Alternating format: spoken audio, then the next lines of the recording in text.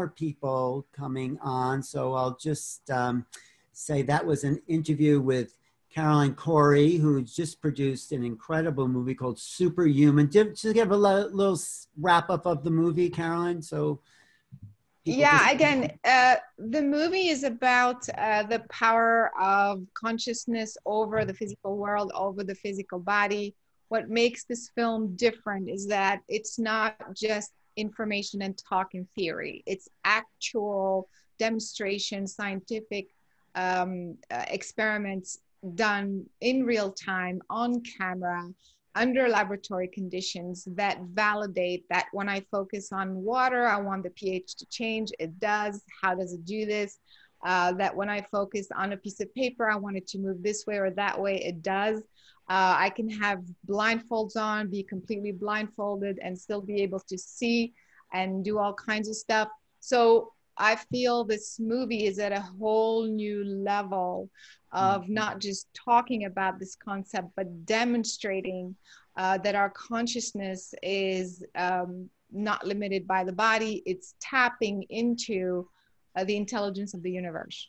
And so, if I can do that on a piece of paper, then I can use that principle to tap into an intelligent being that's floating in my space, an extraterrestrial, a UFO, whatever it is. So it's incredibly powerful, it's incredibly timely. And I really, really would love everybody to watch it because it's supporting your work, it's supporting what you've been doing. And that's superhumanfilm.com. That's right. And that's a great intro to what I hope we can really talk about today here on This is the Experiences panel at the Portal to Ascension Summit Conference. And we have some amazing women here talk about their experiences and their interaction with experiences, but taking off from what Caroline just said, because she's an experiencer too, I would like this panel not to just talk about, oh, I've had this experience and that experience, but how does the experience at this time in our history start to integrate into the social fabric, into society. It's like, yes, of course, it's shocking if it's new to you, and and there are people just kind of starting that process. But if you've been around the phenomena, if you've had interactions, and I think everyone here has has had an integration of their experiencers, um, you know, contact, then something else I think is happening at this juncture in history. There's a not just an acceptance, but a, an influence that's starting to exert itself in a more mainstream population. I think I think that's how I see it. And I think that's why movies like Superhuman are getting out there because they're told from a bigger perspective. So let me just introduce the panel. And I've been talking to Caroline Cory, uh, producer, writer, and experiencer. Um, and she's also, you could also see her on Ancient Aliens and lots of places that she speaks at, Contact in the Desert. Thanks for being here, Caroline. Thanks for having me. Oh, let me just introduce myself, actually. I'm Alan Steinfeld. it's always good to know who's talking to what. Alan Steinfeld for New Realities. And I have to say, I'm obsessed with this topic for whatever reason. I've had contact, I've had, should we call them abductions, whatever. I had something that said to me, there's something else going on here. And and I, I want I need to know what that is. I need to find out. I need to interact and understand it and and even accept it and see what that can bring to the rest of the planet. So it's sort of been, I guess, 25 years search for integration and making sense. And it's great to meet people who are here who also accept this as a as a fact of life and a fact of existence and and not just saying oh wow but learned how to bring this into their everyday awareness so I'm very happy Barbara Lamb is here. she's a hypnotherapist and she's been working with contactees, experiencers, abductees, whatever you want to call them, for many, many years, taking them back, regressing them to that point of contact and finding out what that's really about. So we'd be talking to Barbara. I know you have to leave a little early, right, Barbara? Right. It's okay. Okay. And we have my friend Rebecca Hardcastle Wright, who's just written a book on exo consciousness, and she actually coined that term exo consciousness, is which I feel is what we need to do is expand beyond the human drama. We need to go out there and realize there's there's other stories to tell about our human existence and just the same stuff we hear we see in movies and and and the everyday chatter or watching the football game or going shopping and all those mundane there's a bigger story and we're all a part of it. So thank you rebecca. And then you have sherry Wilde. I've seen you sherry at contact in the desert and you have a fantastic story of transformation as from what i know of you going from someone who's been traumatized by contact to embracing it and bringing it to another level of awareness. Is that is that fair to say about your story, Sherry? What would you like? Oh, unmute yourself for a second. Yes, there we go. I would say that's that's my message. Is um, the whole you, you question whether you should call it an abduction. I agree with that. It's, I don't like to call it an abduction we have an encounter, and as long as we're in fear when we have that encounter, we will view it as something nefarious. And it's a matter of changing our own, being neutral about it, changing our own um, perspective on it before we can really get to the bottom of what's happening to us. So mm-hmm. that's kind of my message. Try to take the fear out of it. Can you, I'll get to Geraldine in a second, but can you talk about a little bit how you change your perspective from going from fear to acceptance? Well, I, I guess as I was I went crazy after I found out that that what uh, my lost time meant to me um, through through hypnosis. The lost time meant that I had been abducted by these little gray creatures. I just at the time I was 36 or 37 years old when I um, was investigated and, and that was discovered, and I was not prepared for that.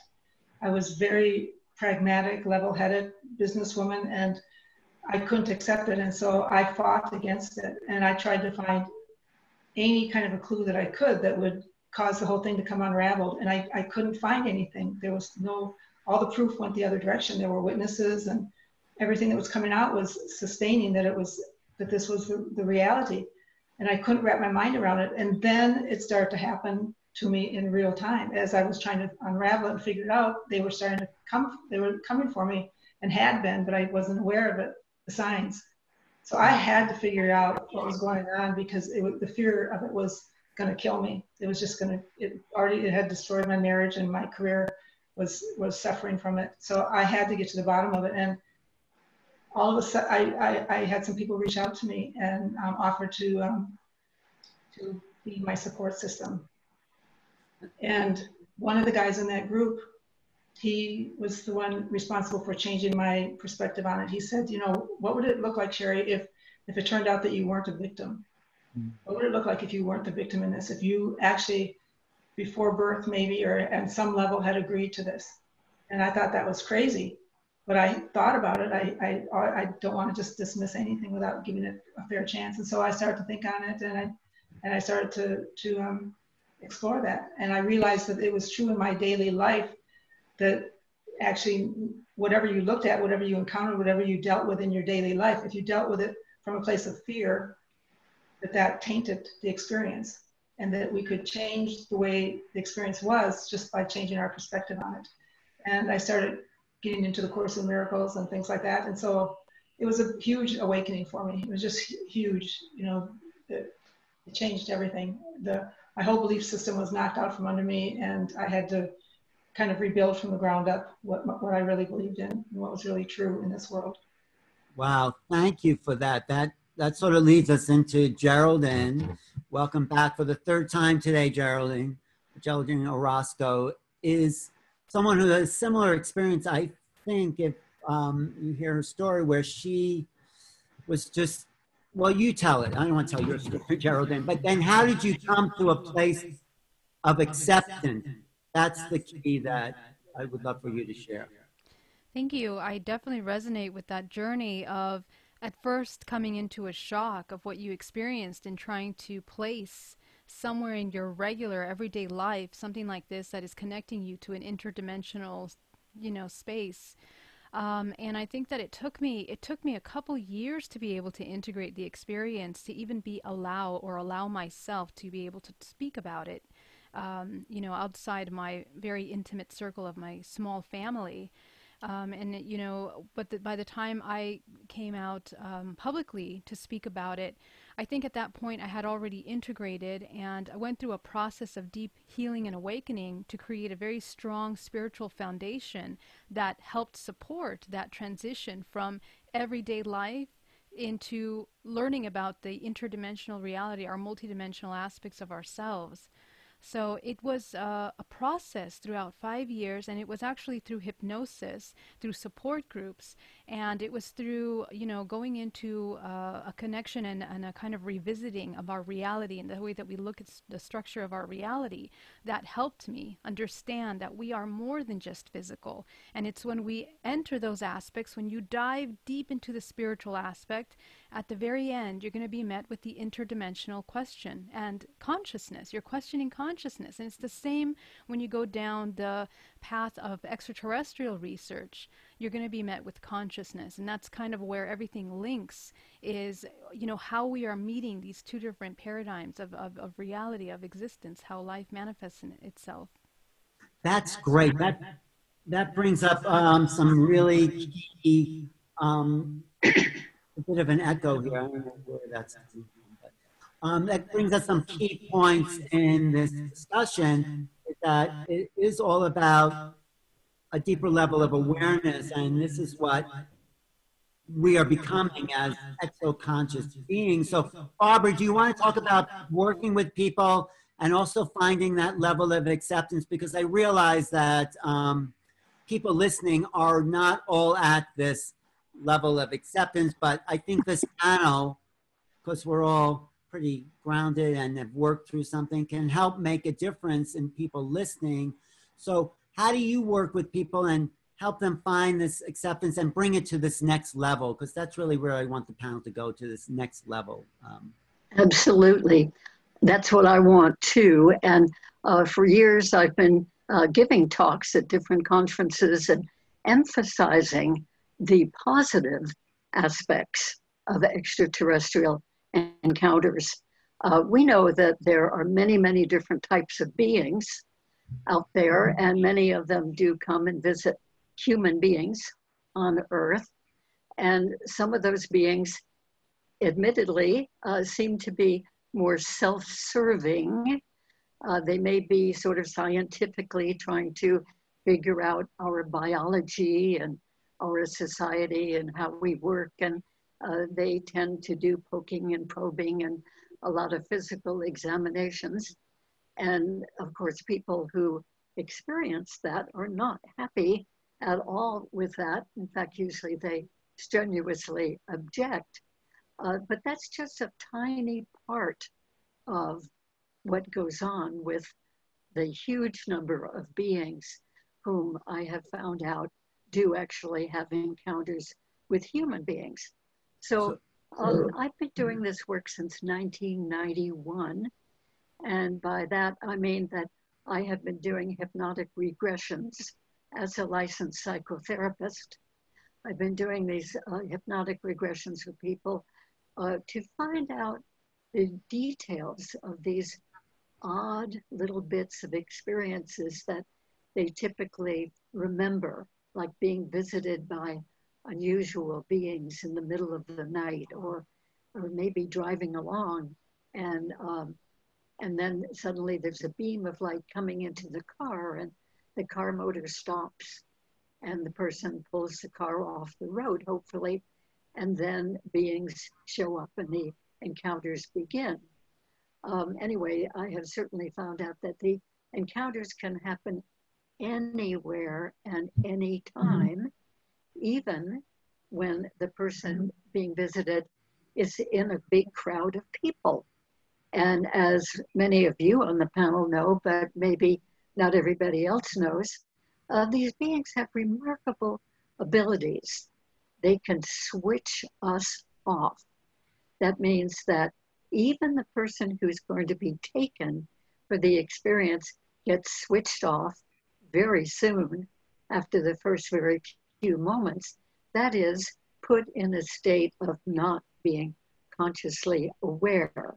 They're not harmed, they're not knocked out or anything, but they just are not conscious of what is occurring. And so that's true of anybody who happens to be accompanying the person who is being taken for one of these encounters, that these other people are switched off out of awareness too. And again, not harmed, but just simply. But how do we how do we get conscious? How do we stay conscious? I mean, how do we take response if we're switched off? How can we possibly integrate that into the bigger picture? Is my you know. Well, eh, very important question. So most of the people who've come to me have had a number of experiences where they're aware of just the first very few moments of visitors extraterrestrials being there. And then they are out of consciousness uh, for typically an hour or two and then returned. And then they may be aware of being back in their car if they were taken from there or back in the bed.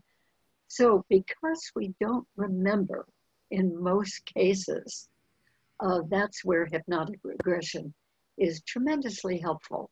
Right. Because in a regression, we can go back to the event that the person is wondering about, to those first few moments, and have the sense of living through those first few moments right through the whole experience until they are returned again. And in that process of hypnotic regression, I, I just admire it and I'm so thankful for it because it certainly seems like we get all the details moment by moment by moment as if the person is totally reliving that mm-hmm. experience. I think the way we can understand this is that the subconscious part of our minds, the true for all of us, subconscious part of the mind records absolutely everything that we experience. It even records those things that we are not consciously aware of. And so when we go back into a nice, really deeply relaxed state that I help people to get into, state of hypnosis, in other words, um, that we can access the material in the subconscious part of the mind. We can go back to that incident and then live it through every moment as if it were happening right now. Well, that's uh, where so I want to get. That that is where I want to get to as far as okay, accepting it, moving on, and integrating. Did you have something else to say? No, I cut you off for a second. What were you going to say? No, that's all right. I've forgotten now. no, no, no. But I want to talk to Carolyn uh, Cory, and and you know, this is sort of like everyone can jump in also. But Carolyn, that you've made all your experiences conscious, haven't you? And um, I want to get to the place of integration because I think as a planetary civilization, yes, it's shocking and awful and traumatic, but let's see where it's all going. And so, how do you talk about the integration, Carolyn, based on your experiences? I think for me, this is this is really my main focus. It's like uh, we already know that this is real. I know many people know, and so the focus of my work is not necessarily to rehash or keep uh, trying to convince myself or others that this is real and this is happening, but rather to say, now what? What can I do with these experiences and how can I apply it to enhance my physical experience so so that's why uh, everything that i've developed my you know 15 years of work in a, in the field of consciousness studies energy medicine has to do with specific tools and uh, and things to just enhance those abilities you know and what so, ability which abilities yeah. so so the fir- so the first step is to acknowledge that all your experiences are real, you know, to kind of let go of did this happen, did this not happen, you know, and am I crazy and all that good stuff. So let go of that. That's step one. And then start to question and focus on wait, what did I do to tap to download this Pleiadian message? Like, what, how did that happen? Uh, when I was asleep, how did I come in contact with this intelligent being? So, when you start asking these questions, you're now focusing on the mechanics of your consciousness and how you are interacting with other beings' consciousness, and also the container, the parameters within which this communication and this contact is happening, meaning the mechanics of the universe. So now you are no longer still questioning and you know focusing on just the experience. You are now at the level of integrating. You're at the level of putting in practice what the experience has brought to you and figuring out wait if i did this to communicate with this extraterrestrial for example for example uh, when you when you do this type of work you sharpen your consciousness and your mind to such a point that you get a, a certain amount of discernment because your brain is not functioning in the same way. Your brain is not functioning in a linear manner like you know right now i'm you're asking me a question i'm, I'm you know responding to you in the english language and so my brain is firing you know from the frontal lobe to the temporal lobe to the language center it's all over the place but when I come in contact with an extraterrestrial that I've never seen before in my life, I'm sleeping at night and here comes this entity. I have no idea. It's, you know, it's not like I spend my time researching, you know, all the types of beings. I'm talking about the first time this happens. Your brain is kind of merged, you know, the way that communication happens is completely different. You're operating at a whole different level. And in that split second you i mean i everybody can as well but i could see hear sense understand uh, know everything about this being in this split second he doesn't have to introduce myself himself like hello i'm from this i'm from this planet you know the way we do it down here it's it's this merging of consciousness that allows this instantaneous communication and understanding of everything of consciousness right. and so just no. imagine if mm-hmm. you figure out how you how did how you did that. Means that you you can then apply it to other things. You can apply it quickly uh, merging with the outcome of something you want to do quickly merging with you know a location you want to go to if that makes sense you begin to operate at a whole different level if you understand what your brain did what you what your uh, consciousness did to we'll, we'll, get, we'll get to the merging part because that's like the next level but let me just talk to rebecca too because rebecca this is your work this is your field you different functionings or different ways of functioning human brain. Talk about what you're creating with the Exoconsciousness Institute and your Exoconsciousness Journal. We, we have an international community. Um, it's called IXO, the Institute for Exoconsciousness. And we are a uh, community, a worldwide community of ongoing conscious experiencers. So we have uh, we're not first time experiencers, but any first time experiencer is certainly welcome to join us. And our work is basically to come together to, um, as Caroline said, to use and apply our, our context. So, exo consciousness is the innate, so all of us have it, it's the innate human ability to contact, communicate, and most importantly, co create with ETs and multidimensionals. So, we take our contact and from the contact as caroline and barbara have talked about and Cheryl, sherry and geraldine we we take that contact and from that contact we say how do I use this in my everyday life?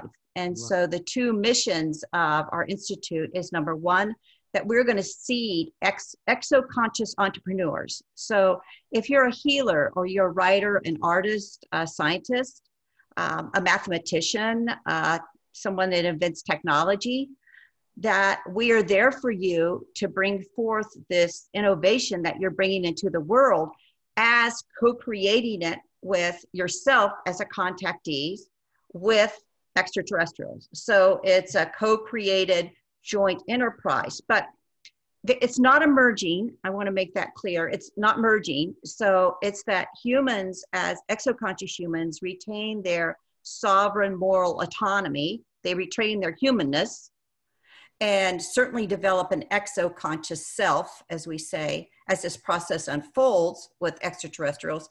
But this is really about our humanness and um, bringing something new to the planet. Our second mission is to offer training so that if you become, let's say, you bring a new technology to the planet, then as a member of our community, you will also train other people in your technology. Maybe you brought forth a new healing modality. So you train others in that modality. So the, those are the two ways we go. Integration is huge for us. If you, uh, um, as Sherry and Geraldine talked about, and I can't wait to, to listen to uh, Celestine, mm-hmm. hi. Um, that integration piece is so important because once the integration takes place, then you can be at peace with who you are. And as Barbara talked about, what, what your mission here on earth is about. Mm-hmm. And then you can join uh, our community or any community that's bringing forth this. We actually call it that we're building an exoconscious civilization. So we're putting the work in of the nuts and bolts to bring mm-hmm. something different to Earth as a co-creative ET multidimensional um, innovation, yes, inventions. We, are, we exactly are building an exoconscious civilization, and all the people here, all the all the women here are part of that foundation evolution because I talked to pretty much everyone and they are, I mean, I have to say though, part of merging, and we could talk about this later, once you have an experience, you're already sort of in this other level. So Celestine Star, welcome to the panel. And I know Celestine, I've just talked to her a couple of times last week about the levels of conscious contact she has had and how she's integrated. So this is sort of what we've been discussing, this integration of the exoconsciousness or the star beings with life on earth here. So how how do you understand it and what have you done in your life to make that possible? So um, what I'm getting, what I'm hearing is that having had the experience, how did I integrate it? Is that what I'm hearing? Well, did I... and also we want to take people to a global integration with this panel. How do we as you know, sort of pioneers, integrate the planet to accept this and work with this as a reality. So that's sort of my question. Mm, okay. So my experience has been from the time of birth, and I, I let people tune into their own experience and just see how they've been gently moved forward in their awareness. And I, I have to say, like the 60s was a big awakening for everyone through the songs and the music and uh, even the medicines. They kind of just broke open the mind frame that was kind of, as they say, the square mind frame, uh, where, where it was from the old schools of Europe and the peasantry and the royalties and just breaking the barriers of going from individuality to uh, community and going from uh, you know uh, Americans and Europeans to global, and we mm-hmm. had the first you know uh, Gagarin in space uh, which gave us, you know, the um, ecological uh, communities that began to feel for the earth and be with the earth. So we are the next phase. And those of us who have had that um, we were we are the sensitives. We were born this way. And we were born specifically to be able to re- recognize that there are other intelligences that are working uh, in the forces of nature and in planetary systems and coming in and talking to us whether it's oh my goodness there's a light orb. What is that? You know and being able to stop and just say what is that? I had light orbs in my yard. I called the neighbor. He comes in. He's like, what is that? I don't know. We're just standing there for 15 minutes. And we started saying, we love you. And they're whirling around and changing colors and, you know, just having these interactions. Uh, they, they build. There's a building. And so we've gotten to a place where uh, many of us who are here, I just love each and every one of you, have had enough experience that you could speak from the heart and know that it is true. As you said, Alan, we have we are embodying that experience. Right. And so I love what you're doing, Rebecca, and taking it to the next level. It's like so the work that I do is um, individuals. I work with individuals and it, it, was years and years of just you know polishing the mirror you know just getting all the traumas out the traumas and the dramas. And so uh, all of a sudden people started taking the leap to like into their divinity you know? And um, my experience with the galactics which has been you know my you know since since i had my near death experience and in new mexico when i was seven uh, a direct experience inside a starship being uh, with my whole family where we were being uh, modulated and checked. Um, since those times, uh, I started seeing with people that they need to go back to the first time I was given this by the Galactics, go back to the very first time they came to Earth. So they gave me the ability to take people through trance work. I've done hundreds of people now. And they go back to the very first time they came. And what's really amazing is they begin to come in touch with who they are they mm-hmm. awaken to like oh my hands i have three fingers i have four fingers. Uh, oh i'm i'm tall i'm a light being i'm here you know i'm here reconnaissance i'm doing uh, here for resources. Uh, oh i'm in a group. Uh, oh we came through a stargate. No we can't. And so having distinct understandings and um, such detailed and then we go back to where they came from. Mm. and that's a whole different level. And once they go there they awaken to their almost their divinity and that then no consciousness you're teaching people i mean i would say yeah. right? Yeah so they come back in and so it's it's it's just a very natural it's like uh, the ouroboros you know the snake biting the tail um, but it's an alchemical process that was given to me as an uh, encoded transmission. Right. No so, okay. Go ahead you want i want to finish with we do skywalk we do Skywatch so that I do open ones and I do advanced ones. The open ones is for people who just want to come. We do it in a sacred ceremony. So always a ceremony is going on. We're doing the rounds. Everybody does the prayer to the mother because the mm-hmm. galactics I work with are there's no differentiation between nature and themselves. Right. So the radiant ones. So we we let them know that they are, you know, a part of what's happening. And by the time the galactics come out and start showing themselves, it's a natural awakening. So mm. then they come home and it's like, okay, what do you, here's your homework, you know, like, uh, so here's the homework. So they have the experience and then they're journaling and writing. And then when they come the next time, they're going to bring something with them. They're going to mm. bring a writing, a teaching or something. So we're always developing them in group yeah. and we're individuals. So that's what I would we'll say. We'll get back to that. I, I just want to ask Sherry, uh, based on what everyone says, is a it seems like there's a new way or different way we have to use our mind as we go beyond the fear and kind of the lower levels of humanity, if you want to call it. It's sort of what Caroline's teaching in her movie. But would you would you say that's true of you that we have to cognize reality in a new way, Sherry? And, and what's been your process? Absolutely. And I, I'm I'm so uplifted to hear how fast we're moving forward and moving out of the old paradigm of fear.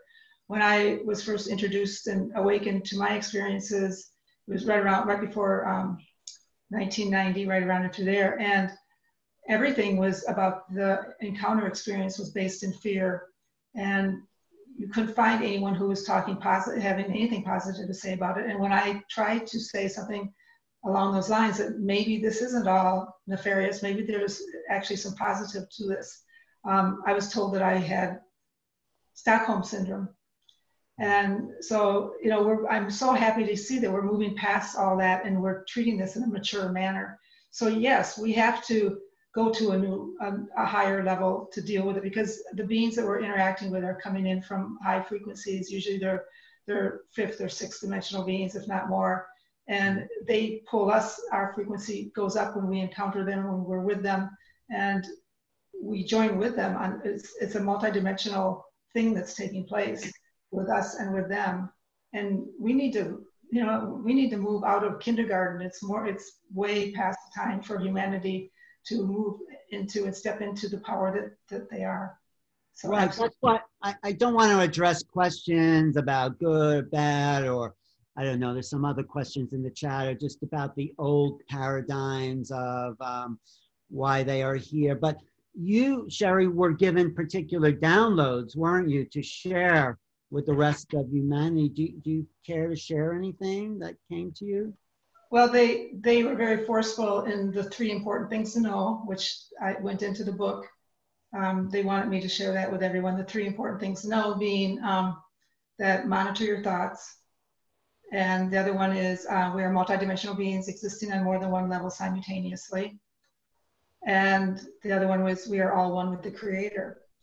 Mm. And those three tenets are the things that they say if we if we just know those actually if we could just get the first one which is we are all one with our creator they told me if, if humanity would get that and just live by that that would solve all the problems on planet earth. But he's you know the thing is it becomes like i always say it becomes a bumper sticker. Um, people know it and they say it but they don't live it. And that's kind of the problem with it. And i think that this a panel like this and what what what's going on here with all of the conferences that are happening now, these online conferences. It, I mean, it kind of opens the door for so many more people to be able to come in and and and listen to these kinds of conversations and discussions. When Contact in the Desert and all the other conferences are great, but in some ways, this is a benefit to what's going on right now on the planet in that we can all join together via the Zoom connection and and share this information. So right. it's raising consciousness.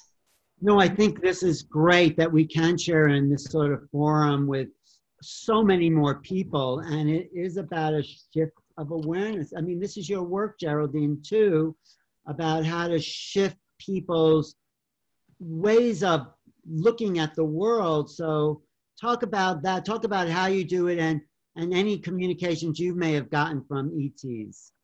Well, you know, one of the things I want to add to the last comment that you made that we want to kind of look at is if we look historically at ancient civilizations that have come to a pinnacle, a certain point of knowledge, of wisdom, of technological advancement, every time they have reached that point, it's almost as if there is that contact, there is that awareness of our multidimensional uh, expression that we have in this universe.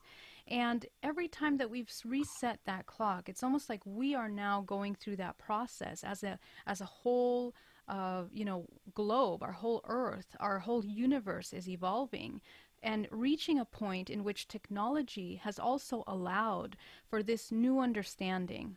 And when technology is advancing, in, in you know talking about technology and artificial intelligence, that artificial intelligence is mimicking this this organism, which is also a technology. It's one of the most advanced technologies in this multiverse. But within that, we become aware of our multidimensional aspects that are available to us. One of the things that we have to understand is that even our system, our system here on Earth, has created a lot of compartmentalized um, thinking about ourselves and our multidimensionality, there's a lot of agendas that have taken the extraterrestrial topic and made it a fringe topic in order for it to be taboo, to be shameful, to be something that is not talked about and shamed. Um, and that, that's something that we want to break at this point also. As experiencers coming up to the plate and talking about these experiences openly so that we, we are can breaking to, it. I think yeah, this, this, yeah. happening. Exactly. It's happening already. And so the invitation is for all those that are new to the extraterrestrial topic to kind of come in and know that you know we we are the ones as experiencers. We are that disclosure. You know we seem to get sometimes sidetracked into just looking at ufology just the ufos that are in the air but we forget that there's a whole other aspect of it which is the experiencer that has firsthand experience at this kind of interdimensional contact and so when i work with my clients you know uh, through hybrid mother um, i do support groups for people that are having experiences on the hybridization program program. And the, the purpose is that we're learning that within the body, within the DNA, is encoded this knowledge, this awareness. It's already a part of us. That when we enter certain states of consciousness, we're activating DNA, which stores the information that allows access into these parts of us that are, uh, you know, extraterrestrial, in fact, interdimensional fragments of our own self. So it's it's an ability for us to access the information through what's here already. We don't even need to look outside of ourselves for healing, for information, for wisdom, for even the most advanced technology we can mirror, um, and you know from the functions of the body. And when we look at these UFOs, we, we look at um, technology that our physics doesn't work with. So we're also expanding our mind in those directions of sciences, which are now going beyond, you know, what we've been taught in school. So it's breaking a lot of different barriers that, that we're here to hold space for, hopefully. Absolutely. I mean, I love what you said. I think contact disclosure is an inside job. it, it is so. Um, let me just ask Barbara because she has to leave soon, right? Uh, so, what places of new awareness when you work? You've worked with hundreds of people in your practice. So, what revelations? How are they changed? How are they different and maybe I could say better people because they've integrated and accepted their contact experiences? Well, you you mentioned a very good point about uh, they're having to find out about it in the first place mm-hmm. from the little hints and wonderings that they've had. And then um, integrating it does take some time. And the more that they look into the experiences that they've had, the more that they realize that a lot of those experiences with the beings have been extremely favorable and in many cases out and out helpful, even life saving. So, in other words, among all the experiences that, that people have, um, many of those experiences involve physical checkups and then healing done by the extraterrestrials. I've had so many clients. Uh, well, I've had more than 2,030 people I've progressed to ET experiences, and many, many of them have been physically healed even from really serious things like life threatening cancer or heart disease. And not only mm-hmm. that, but sometimes on board the craft, uh, these people are taught to do healing, um, which they bring back here to Earth and, and they become healers. Uh, some of them actually change their, their whole vocational jobs and uh, become healers full time. Uh, so anyway, information given to many of these experiencers, and it expands the consciousness. It expands the whole realm of understanding of reality. I think that through these experiences, people have come to know about other dimensions of reality because some of these beings seem to be in a 3D physical reality, but many of them are in other dimensions of reality. Right. So our consciousness, the more we know about this, it just keeps expanding and growing, mm. increasing, deepening, widening. I think it is really wonderful for humanity uh, that so much opening up is happening. We wow. know, of course, that on the 3D level, here on earth. Oh my goodness, there's so much dysfunctional stuff going. And yet, this other part of reality, I think, really gives us hope.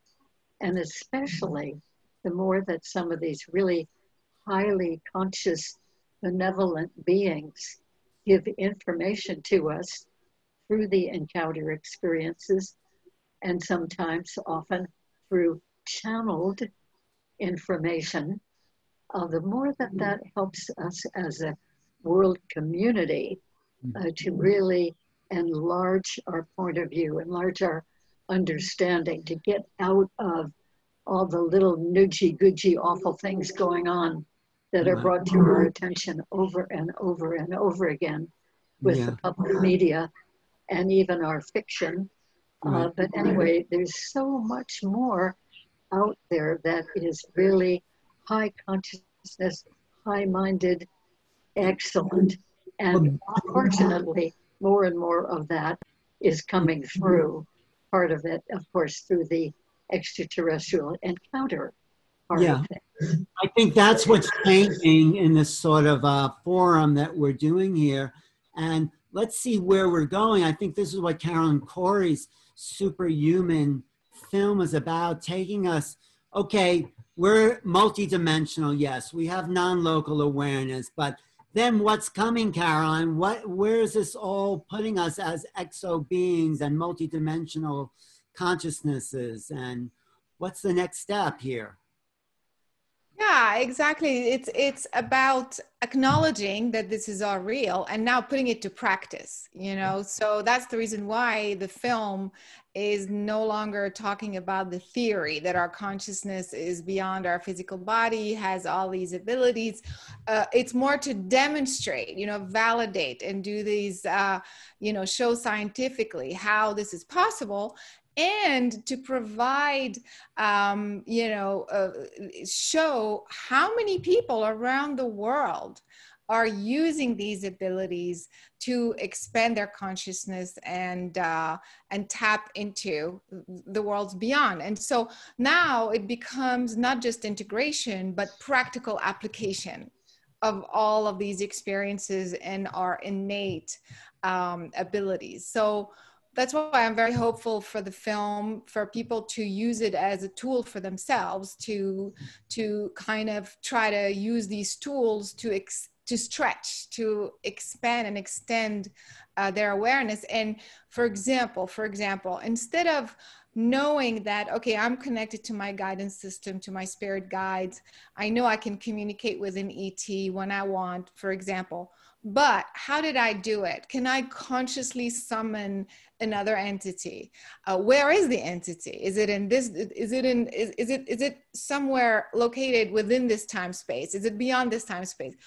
All of this specificity, you know, those details of the mechanics of how I'm doing it, adds to your innate powers because if i can do it you know, by you know for speaking to a specific et then i can do it and i can apply it for something else and something else and something else which eventually enhances my ability to create my physical reality my earthly experience. Exactly. So that's it why enriches, i was just saying it enriches our lives as humans in a sense. We yeah and also you take charge. You feel like you are in control. The experience didn't just happen to you. Like this guy just showed up and downloaded this information in my brain.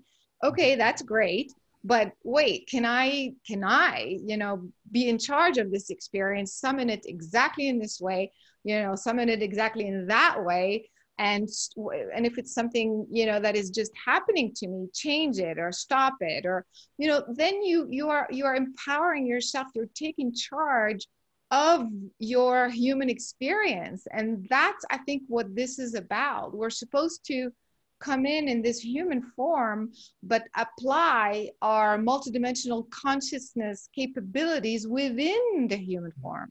That's what's so, changing about our civilization and and the more we discuss these topics of exo consciousness and our abilities, the more it empowers us. So, Celestine, you've had those experiences of being showing up and communicating and you're calling them in on your sky watches. Talk about that a little bit because that's what caroline was alluding to that kind of practice. So yes. Well it took some time for me to uh, formulate and, and, and work up to having the immortals to appear. I call them the immortals. And when you have an immortal that appears to you, um, it's pretty special. So in the beginning of the sky watches, they would, uh, their ships would come by and I'm driving on the freeway or something and they would travel with me. And as they traveled with me, uh, they would telepathically talk to me about what they wanted to share. So it just was a natural unfoldment. We started when the oil spill happened in uh, Mexico, in the Gulf of Mexico. And, uh, you know, they said, as they came out in the Bay Area, and there was thousands of them, I thought to myself, oh my gosh, we're really in trouble because the fleet is in. And what's happening is they are here to have meetings about what's happening over in the Gulf. And sure enough, they said, we need to help you, but we have to have a human uh, permission. So that was the first time out. And so they spent about uh, 15, 20 days before we had the ceremony where everybody, 30 of us came. And they did come out and we did give them permission. And the funny thing was, two days later, this 22 ton apparatus came and uh, i remember the news report said we don't know where this came from but you know and they stopped the leak now things are still happening in the Gulf, but we said, oh, you know, maybe we were a part of that. So we decided to continue the, the Galactic Earth Council. So for me, they uh, gently come into my space. Uh, sometimes it is just something will come in front of me and it's my choice if I want to continue the communication. Like I just had a communication with Tanendor. He is the one I communicate with through the High Spiritual Council and they'll give us a theme. Uh, like they're saying 1111 is coming up. It's called the mirroring. And it's about seeing how the outer world is a mirror of the truth that is within the heart and then the core self, right? So um, the next Skywatch that we'll do is for advance. And so they'll be working with me. And I started connecting them in with the moon cycle. Believe it or not, they're very sensitive to nature and to the forces um, I've had orbs in my yard and they, they come to communicate with me. And I've recognized uh, since I started doing these works uh, of taking people back to their galactic origin that they've created a Merkaba and it's an organic orb around them that they travel through time and space. And so these little orbs that would show up, I'm going, okay, these are the people of the, they've created their little Merkaba and they're out and about and they're doing communications with people and so um, yeah it's very natural. And uh, if you if you as you tune in and as they become more familiar with you you know so i've had the one-on-one where they just morph right into the field. And i said okay this is the temples the days of the temples when they would pray to you know they would do the prayer and the being would show up. I mean it really happens you know or i could be in the council room I could be taken, literally, physically taken out of this dimension and brought into the council room, complete with the flame and the being standing there. And that's another interesting experience, right? Or I could be just walking in, in nature and I see a ship go by and I instantly talk to them. I could telepathically have a conversation because I'm not looking at the ship, I'm, I'm communicating with who's in the ship and they start communicating with light. They do this light synchronicity. So there's right. all kinds of forms. And i'm eh, you know it's it's it's a natural and i encourage people you know keep your head to the sky. Right. Keep paying attention. Keep, keep opening your mind it'll all come you know all the all the dots will come together and generally it's your lineage. I tell people you know who you're communicating is more than likely you created it so whatever the incident happened so that you would wake up at the right time. Right. So you and accidentally I'm that's sorry, why we're doing this. This is the time. And i also think the whole experience of contact is changing. Sherry do you think I mean, I, my feeling is that the abduction, whatever you want to call that, is not necessarily happening the same. Something shifting in our relationship to these beings. What do you get about that, Sherry? I totally agree with you. I don't think the abductions, I'm not sure that they're even happening anymore. The classic abduction case coming into your bedroom at night or taking you out of the car. I, I'm not aware of it. My mm-hmm. guys, uh, my interactions with them have, it's changed a lot. It's more mind to mind now. Um, it's, it went through different stages and I don't know if it's, if it's tied to the times we're in or if it's tied to my own evolving um, and my own acceptance of them but mm-hmm. it's more of a communication, a give and take communication that you have mind to mind. And my guys are more concerned right now with what's happening on the planet with the ascension. And it's what, what are they saying to you? Like what? What are they saying? Um, one of the things that they're saying is is love is the most important thing. It's the only thing that matters, and we have to love is is everything, mm-hmm. and that we need to to always put that first and always be aware of our consciousness, our of our frequency. Um, it's just they're, they're, spiritual, but they're also there's also an aspect of them that's involved in the politics somewhat because that directly ties into how fast humanity is going to awaken and when we're going to gain our freedoms and all of that and move beyond the 3D paradigm. So they're they're tied they're tapped into that. I don't know if it's different levels, different groups of them. I mean, I deal with a lot of different races. So there could be waves. Like I think a lot of us. Oh, Barbara. Yeah. What do you think, Barbara? I know. Yeah, I have to leave in a couple of minutes, but I'd like to uh, bring forth the idea of the reality, actually, that many of the extraterrestrial beings, the different species, are creating hybrids. Now, I think most of us have heard of the hybrids who continue to live on the spaceships because they're not human enough to be here. But there's a whole other aspect of hybridization that has been going on for some decades now that we know of. And I know of probably 16 or so of these people, and there probably are more. Anyway, these hybrids were created by very benevolent extraterrestrial beings to be primarily human beings who are born here on Earth, and they are here for special uh, missions. Uh, a co-author and I, Miguel Mendonça, and I wrote a book called Meet the Hybrids, and, and the subtitle of the book is The Lives and Missions of ET Ambassadors on Earth.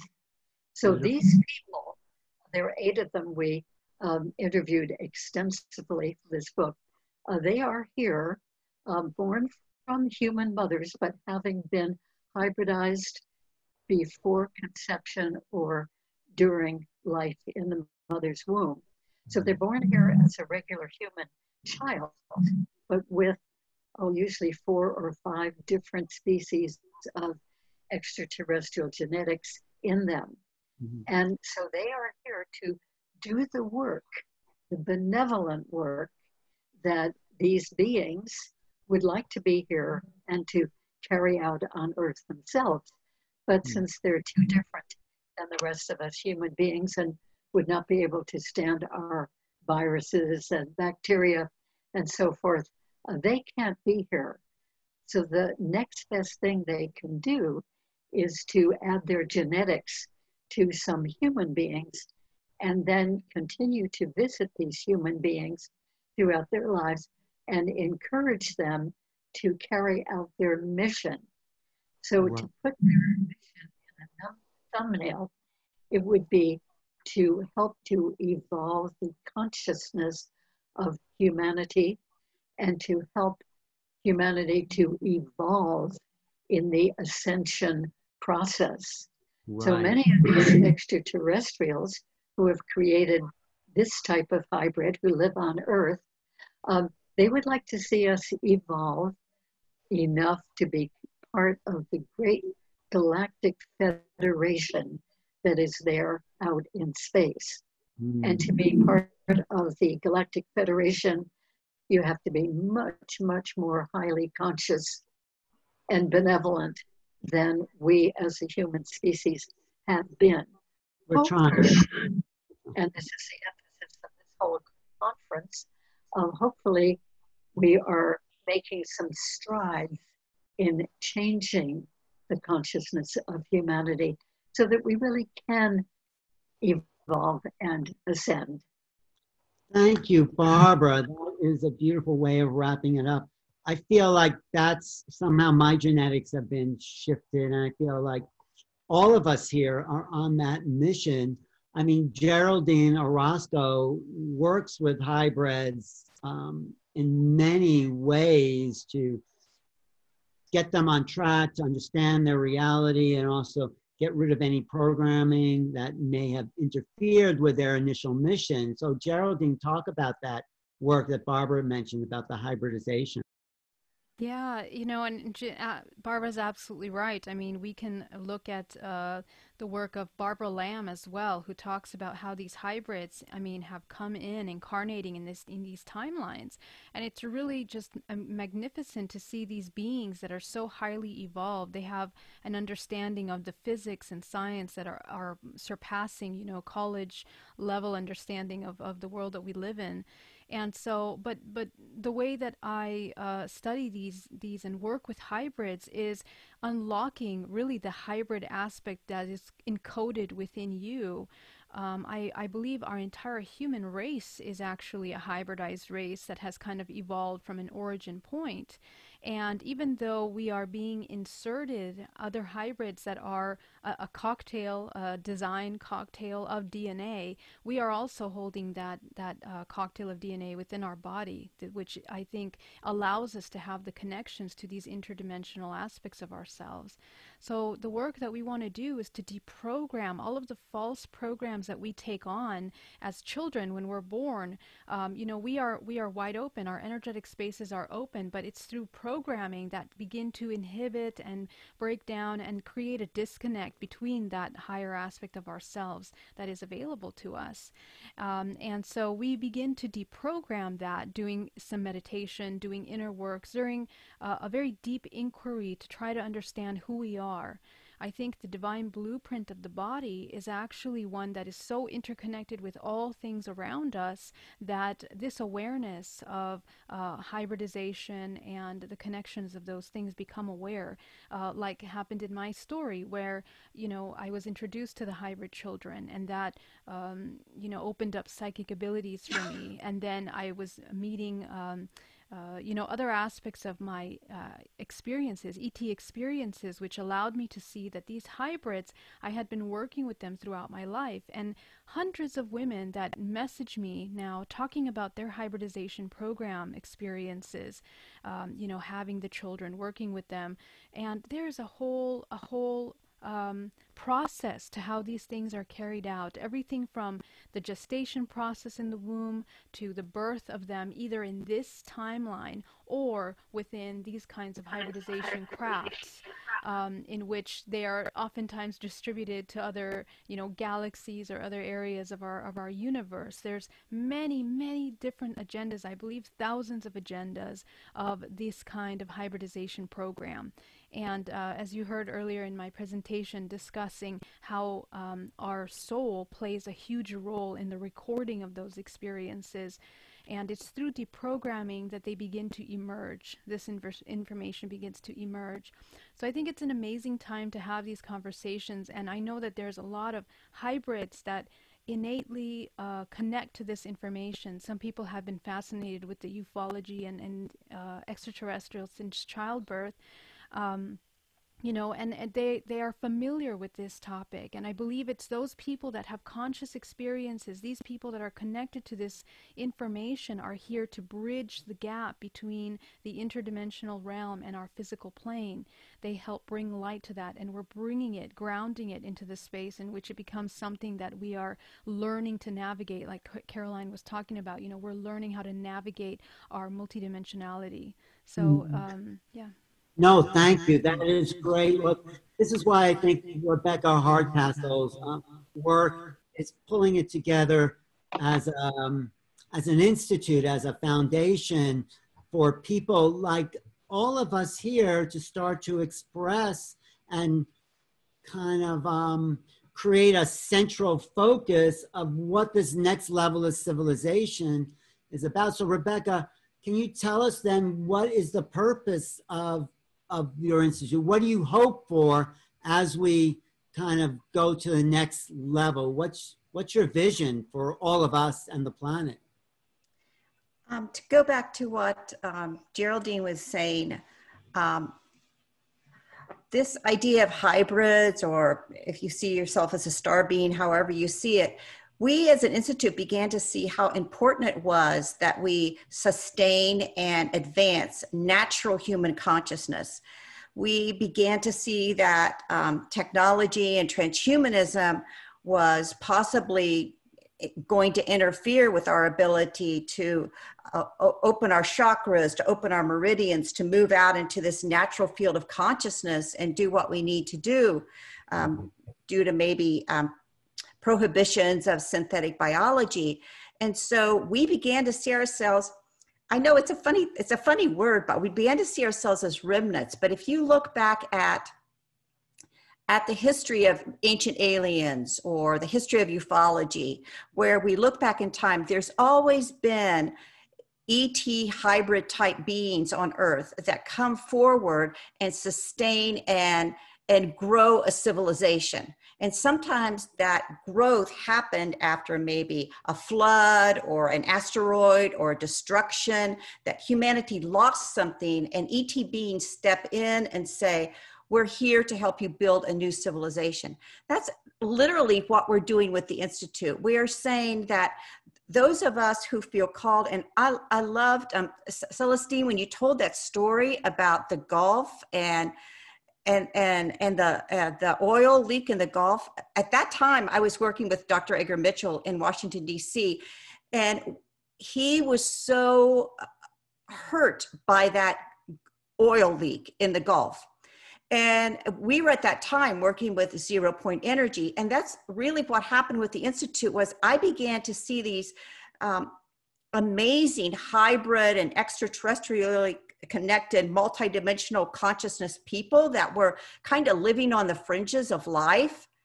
And and they came to us and they said this is my invention and uh, i mean at first look at that invention you would go oh yeah right this doesn't make any sense the second look at it is that, well, you know, maybe this does make sense. And I just was really caught up in the need to say that it's hard to go and bring an invention into the world. It, it's just hard. I have so many colleagues and friends that have done it. I mean, it, it, it's very difficult and and we felt that if as an institute we got behind these people and said you know what if we could have an incubator for you what if we could have a training for you what if we could introduce you to a network of people um, in, in the community of earth that would support you bringing this forward. And that's really um, that's really what our mission is. And every every invention every innovation every every new idea that someone wants to write a book on or make a presentation on all of those are building blocks for an exoconscious civilization. It's not just one person in charge. It's it's it's really just a massive movement of people that have been allowed to say i am multidimensional i received information and I want to bring something new into civilization, but I need help in doing it. Wow. We should form a think tank of everyone here and lots of people listening and just spend a couple of days kind of working it all out so we, there can be a, a platform for approaching the public with the multidimensional, um, not a possibility, but fact that we live in that kind of consciousness. So it could be a part of education. It could be a part of just mm-hmm. teaching children, which is what Caroline's doing, mm-hmm. to realize who they really are. And this is really the change I think we want. So, uh, Caroline, I want to talk to you because I think, you, I don't know if you've said you're a hybrid, but you seem to be very much in touch with those ET realities that are. Um, you know, immediately available to you. Do you want to talk about your process of waking up to that? Whoa. I, I don't know. You're, I didn't mean to throw that at you. I, I mean, you're. No, uh, I'll share what I what I yeah. can share. But yeah. uh, I pretty much came in knowing, um, you know, where I had come from and uh, my process and how I took on a human body. Um, so, yeah, so I kind of already was aware of of all of that, and so, uh, but certain things kind of uh, kept kind of coming in, adding to the story, if you will. So I'm not a hybrid in this. Well, first of all, I think everybody is a hybrid on some level because you have the human um, body, so the human DNA, but you come from another system. Even if it's this planetary system, it's still a different configuration. So you are a human plus something, a different human configuration, a different material configuration, or a different planetary, galactic, or universal configuration. So that's one way of being a hybrid. Uh, however, yeah, I'm speaking and I think I'm not, people can't. No, you're good. Oh, okay. Um, so um, so that's that but then there's a, a, different way of also becoming a hybrid you know through the abduction and this whole thing um, and the um, the genetic uh, engineering that's a different type so i'm certainly i'm definitely not that um, i am aware of my other configuration and how i, I had to uh, like I said, apply it and bring it into this human body. And so I, uh, my consciousness is um, is not planetary, if you will, and because of that, whoops, uh, because of that, yeah, all of the uh, all of the uh, information that came afterwards was more like a additional tools of of how to do this, you know, how to expand consciousness in the human body. So to answer your question, are you a hybrid? Uh, you know, I am, but not in the way that I just described. It's more of, um, well, my, yeah, no, but my question really was, okay, now what? That we admit, we all acknowledge we are connected to the stars. That's sort of a foundation for human beings. And how does it look to openly interact with these beings? How does it look for a society? How do we find a smooth integration to those realities that we want to create here? Uh, I think the first step is for you to understand what is your configuration, who you really are because that is the point of coming into the human form. So the more you understand uh, your true origin, your true essence, you know, the, the human DNA plus whatever that is, the more you integrate it. So now, as a human, and as I become aware of my original essence, everything that I say, everything that I do, everything that I project is now charged with my human aspect plus my other, you know, aspect. And so now I'm contributing, I'm pouring that frequency, this new, never been done before, never put together in this way before, into the collective consciousness. So if I do that and you do that and she does that and ever you you're pouring your Pleiadian, she's pouring her Arcturian and she's pouring her, you know, so we're all now literally contributing to the evolution of the human species and the human DNA. And so the first step is to recognize and develop and integrate your original divine essence. I say divine because it's really is a divine essence. and then put it all together and then consciously uh, send it out, emit it through everything that you do. So, uh, you know, sometimes people get confused like, uh, they think that oh in order to contribute to the human evolution i have to write a book or be a healer or you know do like build greenhouses or something like that. This to me is like a day job. We're talking about you know we're talking about frequency and programming and we're talking about configuration of dna uh, that gets integrated within the collective consciousness so that's the real work that we're here to do. Does that make sense? Absolutely. That is so important. That is so that's why I was hoping for this panel uh, to start the integration of the reality that ETs are here, they're a part of the world, they're, they're integral to our future, and we need to wake up to what's really going on. We're doing a, a panel on disclosure tomorrow, but I think it really is here with the experiencers that we have to really ground the reality because it's it's true for each one of you these experiences so sherry what does the future look like do you think once we integrate this on a big scale to the fact that hey you know we're not alone wait can you unmute sherry neil neil are you listening neil oh there wait do one more time sherry yeah okay go. somebody muted me um, uh, well, the future looks great. It looks fantastic. It look, it's it's amazing where we are as a species and where we're headed. You can see it's on the horizon, and it's fantastic. I'm so excited about it because, along with the um, the contact with our star family, our cosmic family, comes all kinds of advancements, and the the the the the program that's been running on this planet of keeping humanity enslaved and keeping them small and um, everything that's been done to the human species it's heartbreaking. And that's all coming to an end. It's being broken right now. That's what we're watching in the news.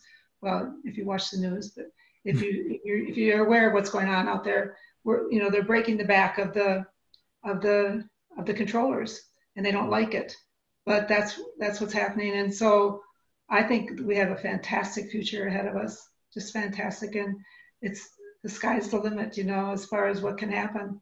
Uh, humans are going to, I don't think they can even comprehend how great it's going to be. You go, you fast forward three or four generations, I think it's going to be just a whole different world, not even close to what we're living in now. I agree. That, no, I'm excited too. Thank you. That's that's yeah. beautiful. What do you see, Celestine, for our future, our unfolding, our possibilities? Well, I love uh, what you said, Sherry. Sky's the limit. And uh, I believe in humanity. Uh, I have just felt, I feel the world all the time, and I feel this awakening. On 4 4, we had 5 million meditators uh, just focusing in when the energies awaken. So um, I, I know, I understand that um, it's going to be, they're gently moving forward. We're seeing more uh, ships. They no longer have to cloak, from what I understand, what I've been told, uh, because our frequency, we are modulating the Schumann resonance is now up beyond 30, for, you know, it's up in 300s. And so we're interfacing with the frequency of our galactic cousins and relatives we're actually at a place where the shift is is happening in our brains and they work very they're very patient you know the synapses we need to have that synapses so all of this uh, understanding that we all are galactic beings as they see us in a human seed you know the signature form and they resonate that we are the tone of earth they actually hear the tone they've taught me to hear the tone of earth. We represent earth. We could be so proud of that because we are the children of the Milky Way, but mm-hmm. earth has a signature tone. And so, what they're trying to do is gently guide us to understand um, that we have something to contribute but we have to come out of the barbarism of uh, trying to hold each other down. And they said, as long as one child doesn't eat, as long as one doesn't have a place to sleep, we're not seen as a intelligent species. So there's more work to be done.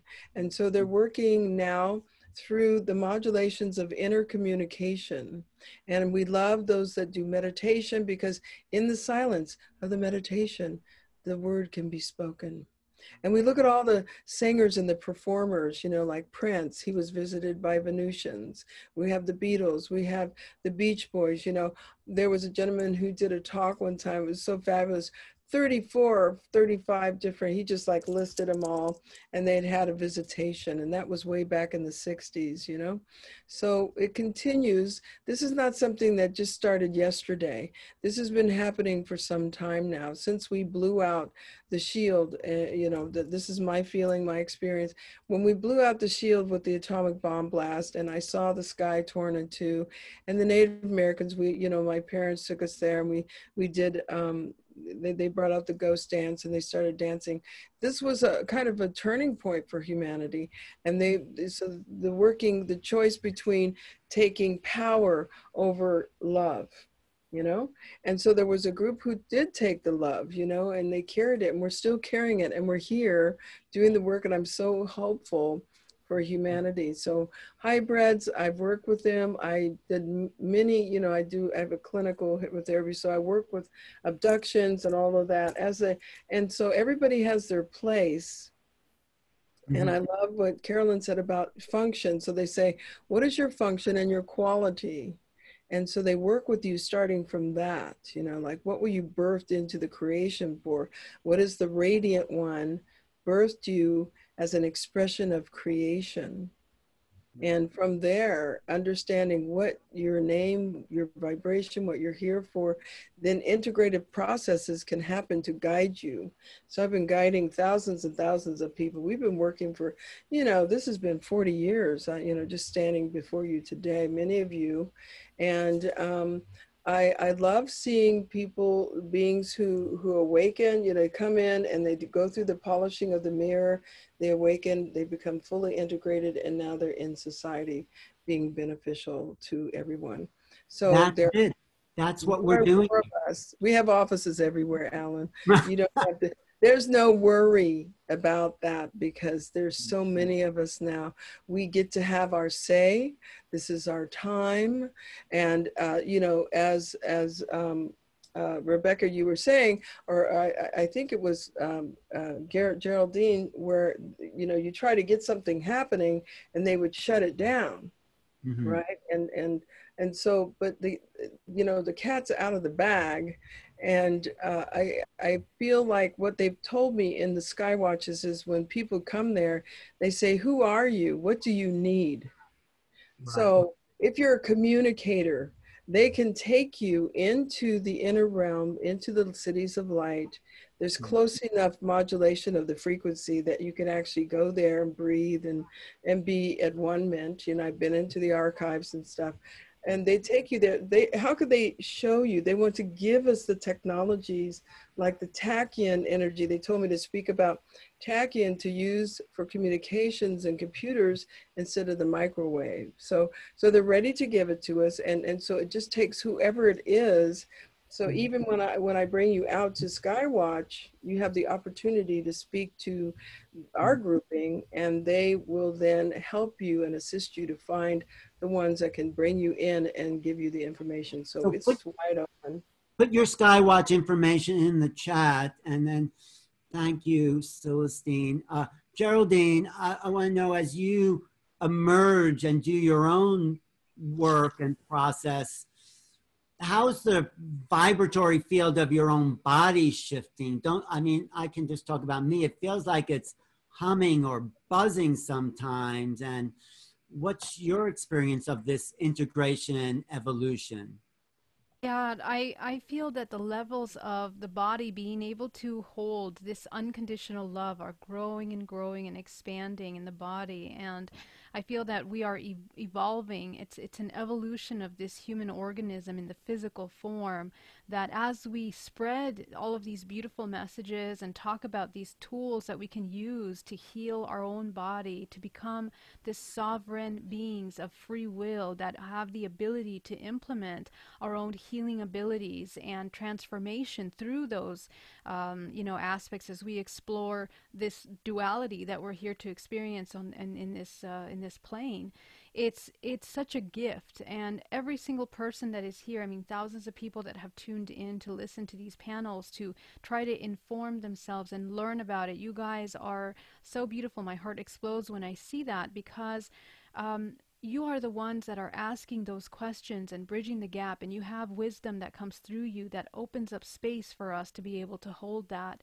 What happens is this amazing coherence that is created, this connection, we're interconnected energetically. And I feel more and more that my physical self, my identity, the self of myself becomes dissolved into this collective uh, whole that we would like to move forward to. More and more when we wake up and we start leaving that identity of the self, we become one and you feel it. You feel it at the cellular level, you feel it emotionally, physically, um, and energetically. I feel that this interconnection is opening and activating tel- telepathic communication.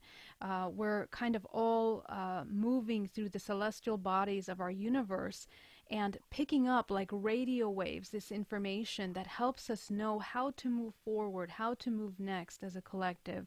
So for me, it's uh, it's it's a constant moving in and out of dimensions and merging with um, this awareness that we are one.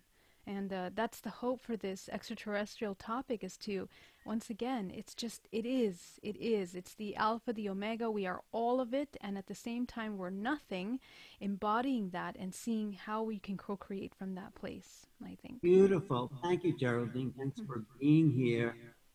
Re- Rebecca, what does the future look like for exo-conscious planet? How does this world in 20, 30, 100 years look as we embrace who we really are? Interesting. I've been looking at the chat every now and then. There's oh. a big conversation about COVID. Oh, I, interesting. Oh, yeah. And, someone wants me to ask, why doesn't the aliens help us right. with? I think, you know, we created a mess. I think we have to get ourselves out of the mess, and we can't look for people to save us because you know where we need to start to reconnect to the, our true essence. I mean, that's my answer, but so that's why I wanted to keep the conversation sort of at another level, like where we're going, and we can. Everyone knows where we are, but where are we going, and how are we going to get there? So that's what I was I think a big part of, of where we're going is that, um, you know, COVID may be a lower energy to talk about, but I think many, many of us are coming in right now and we have the inventions as healers mm-hmm. to address something like COVID, but uh, we haven't given ourselves permission to, to, to use it and maybe we have the technology to address it. I, right. I kind of see, do, do, do you know what an, an, an antidote is? It's, it's like yeah. if, if you have a disease or whatever, there's or, or, like a created disease, for example, there's always an antidote for it. And I, I kind of see extraterrestrial experiencers, exoconscious entrepreneurs as antidotes. So we are really here on planet Earth to say, we're here to work, we're here to bring in new inventions, we're here to address issues. Um, it may not happen overnight, it may not be an ET miracle, but it's going to be something that is co-created. So we see ourselves as exoconscious entrepreneurs as being, um, and some of us have, have used these terms of as morally autonomous individuals. So we mm-hmm. hold ourselves to a to kind of a higher level of morality and ethics as we bring this this new exoconscious civilization forth but it's also something that, um, as Caroline mentioned, you know, it's important to, to raise your frequency. But energy is also about movement, and movement is also about action. And this is a time that is going to demand of humans that our movement into this multi-dimension is going to bear fruit it's absolutely going to bear fruit. I don't know what that fruit's going to look like. I've got some ideas of it. And we at the Institute certainly feel that we want to begin, and I know, Alan, you love art. We want to begin to kind of paint that palette of art of what this is going to look like by actually bringing in creation. So we are, we use the word co-creators. So we are co-creating with extraterrestrials. And I think that this is probably done different times on Earth. Um, this isn't a new thing. I think there's always been a cosmic consciousness component to humanity and that they've used it in different ways. But um, this is our time to do it. And many of us have come in from you know, past lives, maybe in Atlantis or Lemuria or Lyria. And we're bringing that knowledge in at this time and creating this together. Yeah, I think we're creating a superhuman race of possibilities. And of course, yes, there's viruses, there's problems, there's suffering. And I think we do have the technology to deal with it if we can all come together and be aligned in a, in a kind of multidimensional singular consciousness of a common humanity. I think that's what the ETs are waiting for. So, Carolyn, you could wrap it all up for all of us and say, once we all become superhuman, what does the world look like? What's the re- reality here? Yeah, I think this whole situation, the current situation, is a good stepping stone to increase the contrast. To so it's in our face. This is what it looks like to be in separation and in fear. Make up your mind this is your choice. This is the time to take charge of your own destiny and create your reality. So I still feel this whole madness that's happening right now is getting us to the ultimate destination, which is unification. So if we can keep that picture, that vision, that fast forward a little bit through this separation, this chaos, and uh, start working on yourself, start practicing right now all of these abilities that you already have strengthening, enhancing your consciousness. Begin to create uh, what you want to create in your individual life, then visualize it for your family, visualize it for your community, and then visualize it for the whole world. But then let go because other people are going to create whatever they're going to create. If I were to look at it this way and I fast forward, I see an intelligent being, uh, the new human, as, as very, very highly sensitive in the sense that even communication telepathically we become second nature. It would be like a no big deal to uh, retrieve information spontaneously from any point in the universe, bypassing all the institutions. And that's also part of the reason we're going through this is for the collapse of the current institutions that are no longer relevant this is such old old paradigm that needs to collapse and be done with you know? And so so then you fast forward and now you are in a place where you can create a coherent intelligent species that creates institutions that are um, in resonance with its true nature which is free which is connected which is aligned with the intelligence of the universe, with the source, directly with the source. No middleman in, right. a, on any level, in, in any societal whatever through education, religion, finances, you know, no middleman. You are directly connected to the universal source to manifest what you want. So your mm. physical body is healed spontaneously your uh, your innate abilities, sensitivity to hear, see, sense, telepathically communicate, levitate, teleport, all of that becomes second nature. Mm-hmm. Also to the point where your physiological structure changes. You need less sleep because you are so energized from the actual free energy that's coming from the sun, that's feeding your body, that's feeding the planet itself. And you can sustain your body in this way through uh, this natural source chi if you will coming through your body. So um, you need very little food very little water um, and uh, you are communicating at a whole different level creating at a whole new level that is the species that i envision on this planet. Beautiful. That is a great summation. That I feel just gets us to a level playing field where we that's where we're supposed to start from. We've had to undo all this other stuff and build towards that, but that that's the future I see as um, just connected, supernatural, feeling, emotional, creative, in touch, intelligent beings. Thank, thank you all. We should just go um, and kind of give your website, Caroline Cory. Tell us Superhuman and what's your website? Yeah, for the consciousness work, it's carolinecory.com. The, the movie is superhumanfilm.com. Great. Somebody said incredible panel. Excellent. Okay, great. Oh, uh, uh, Rebecca, people are asking about how to get in touch with your institute. Oh, the institute's website is i-exo.com and my website is exoconsciousness.com and that will also take you to the institute. Okay, and we're going to bring all these people together for a think tank of exo. I love that. Okay, Celestine, great to see you again and being part of this. What's your connection, uh, your website, how to take people out to Star Skywatch and all that? Um, GalacticEarthCouncil.com, and we're doing galactic origins for those who really want to dive deep into who they are. Even if you think you know who you are, it's really kind of amazing. Yeah. So there we have celestial activations for those who want to, who, who are kind of awakened but need full, you know, a little bit more integration into society.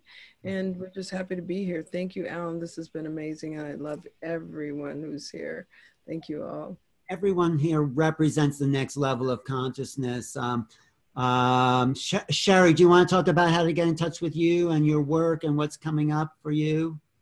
Thank you, Neil. Um, I can be reached at um, my website is The Forgotten Promise. It's the name of my book, theforgottenpromise.net. You can reach me through that. As far as what's coming up, I'm working on getting my health restored. Um, I've had some health challenges, as uh, some people know. And um, there is a film in the works. The book was optioned and um, started working on a movie, which kind of morphed into a now an eight part mini series. And that's being um, worked on. It's nearing completion now.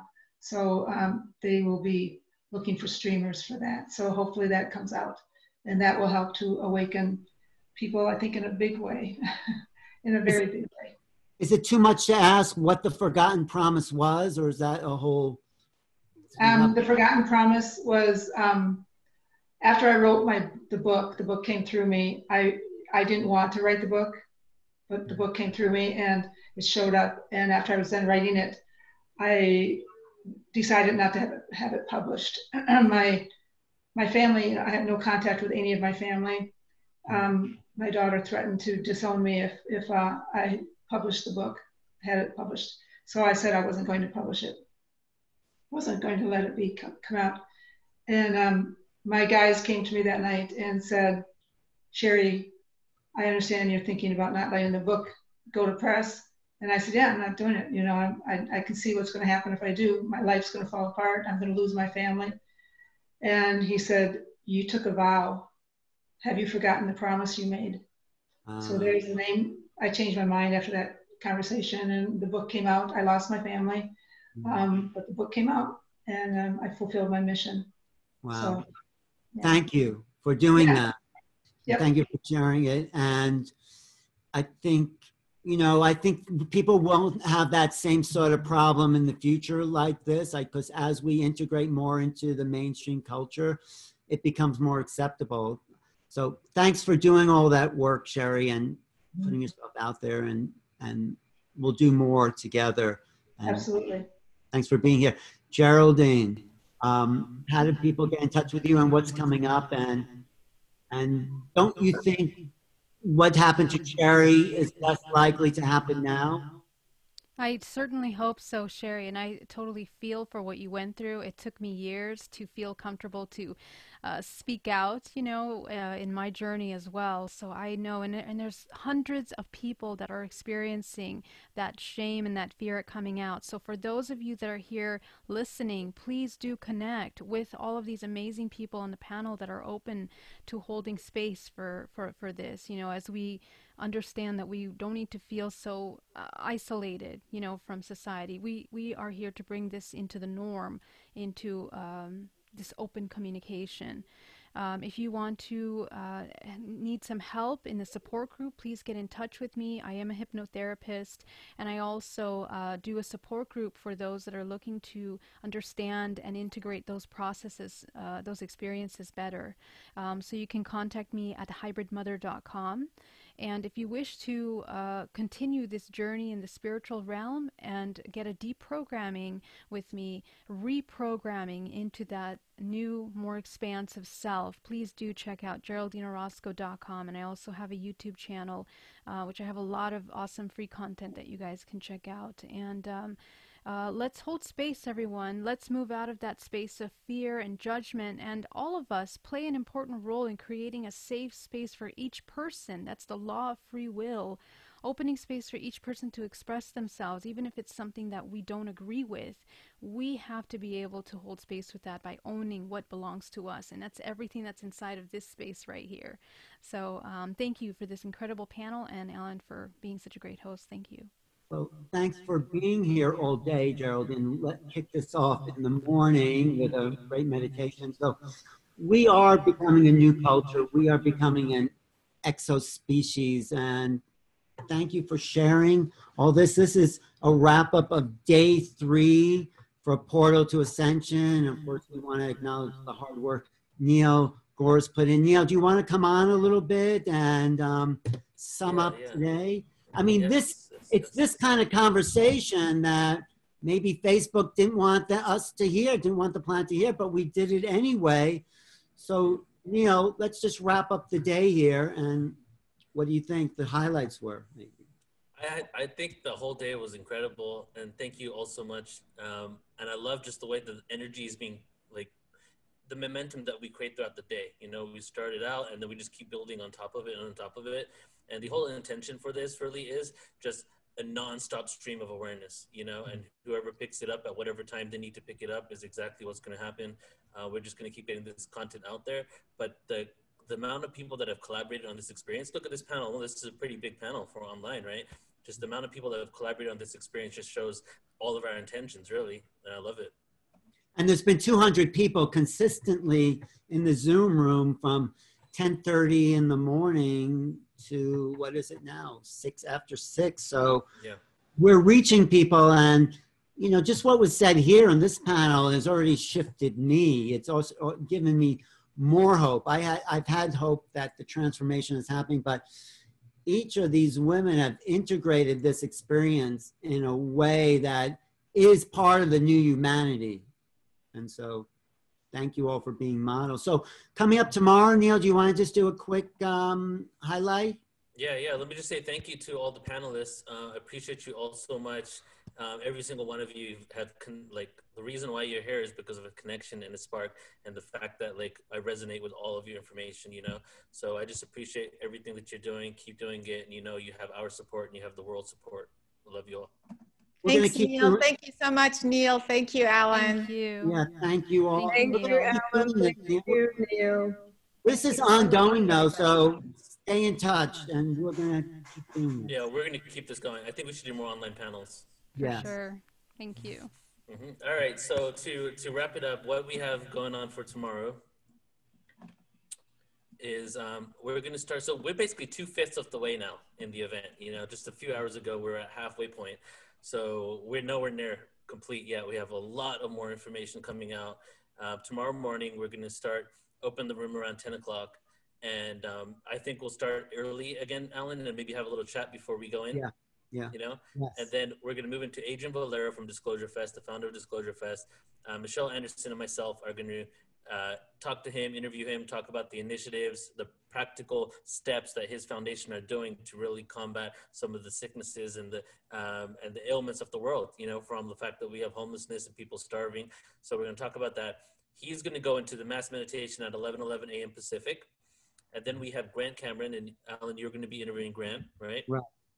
He's a brilliant, brilliant mind. I mean, he's a really at the forefront of the contact experience. He's the one who said to me, let's forget about governments. It's the experiencers that have the answers to the whole situation. Mm-hmm. Yeah. So yeah, and he was actually on today. So he watched a lot of today. I think he was on for a good few hours. So the cool thing is, a lot of these speakers that are actually on here are actually coming in throughout the five days to attend to learn as well. Right. You know, that's incredible. So and then, after, go ahead. oh, go ahead. No, go ahead. Yeah. So after Grant, we have Co- um, Kosta, and I forget how to say his last name. I think it's Makreas, right? Makreas. Mm-hmm. So we have Kosta. He's gonna. He's also ET experiencer going into Phil Gruber with Alan. And I don't know if you want to say maybe a thirty second thing about Alan. I mean about oh, Phil.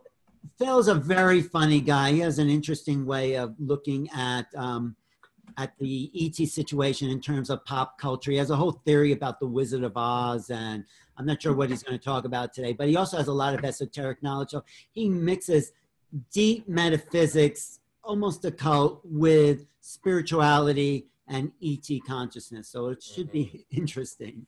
And then after that, we have Brooke Grove. And Brooke, I just stumbled across her uh, in August because I was running the International Near Death Experiencer online conference, and she was one of the speakers that had a near death experience. And through her NDE, she tapped into all this awareness and these like energy healing powers, basically, and uh, awareness of past life. So she's going to be here. Shariah Dharma is going to be interviewing her, and that's followed by Misha Johnston. Are you familiar with Misha at all, Alan?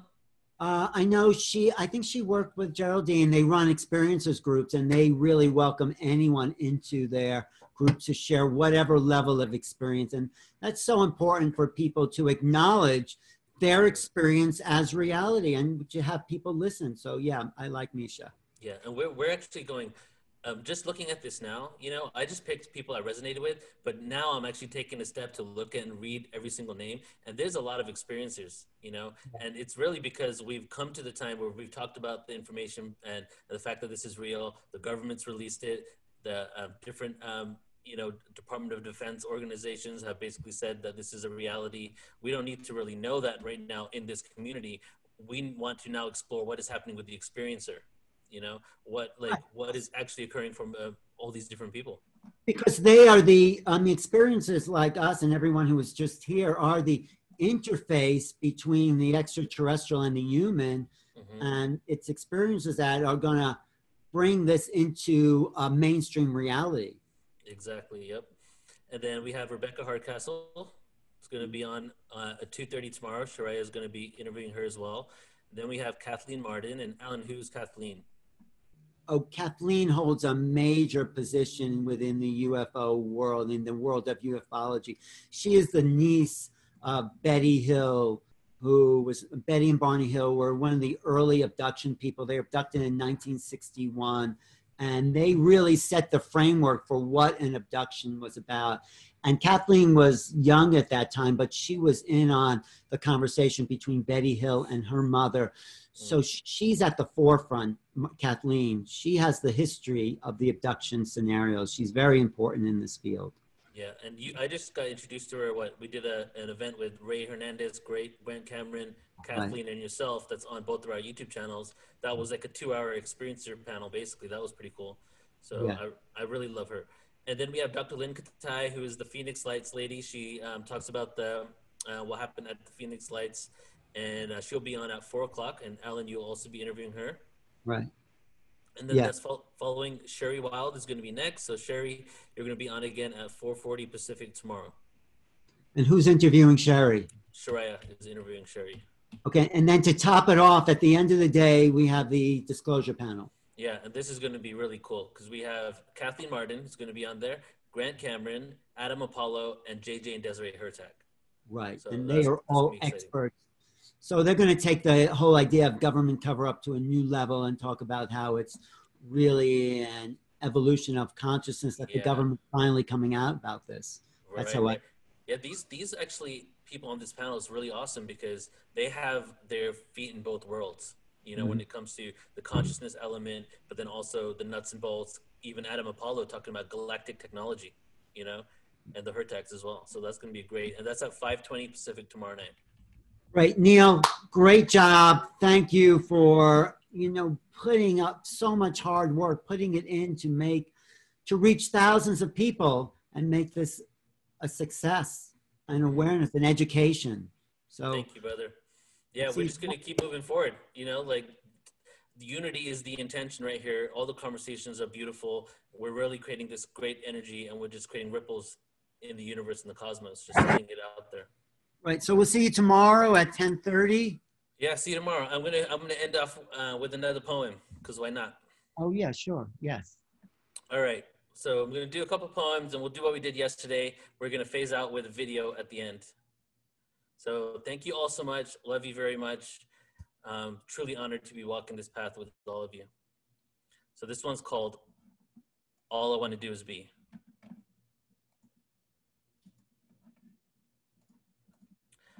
I have the world at my fingertips, but I don't grasp. Infinite possibilities, asking the universe, what is the next task? All I want to do is be. All I want to do is breathe. Conceptual knowledge made manifest. Take action to myself. I confess I am all that is. I have moments of ecstatic bliss, and I thank the universe for this. With utmost gratitude, elude the confines of cerebral masculine energy that defines this path that we're on, moving into the feminine, the earth, moon shone down upon, cast eclipse over the sun, a pathway to union where we'll all finally feel one. You see, I have the world at my fingertips, but I don't grasp. Infinite possibilities, accelerated time is moving fast. All I want to do is be. All I want to do is be free from self expectations, projections of false promises, achieving through external operation. Hope is misplaced in changing the earth without doing the inner work. You see, my soul, it will be gone soon, heading back to Saturn's moon, contractually living a lie, created a fragmented reality based on who, what, where, and why. So I fried my mind to numb out the fake, but it's all a game and we're all playing a role in every moment.